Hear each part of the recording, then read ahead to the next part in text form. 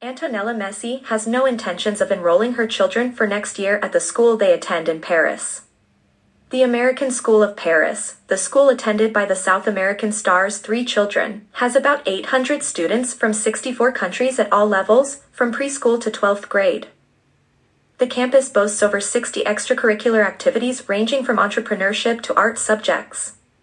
The monthly cost is 1,481 US dollars per student. A figure that, in Messi's case, is close to the $4,500 you have to pay for Mateo, Thiago, and Ciro. Lionel allocates about $54,000 a year for the education of children. However, the amount may change after students are enrolled.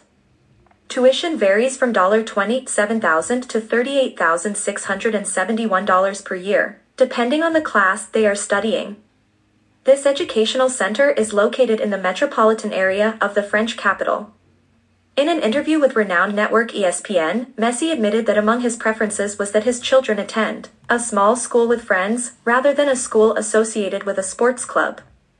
Now since Messi and his wife will not enroll their kids for the upcoming term, his likelihood of staying at PSG after his contract expires has dropped even more.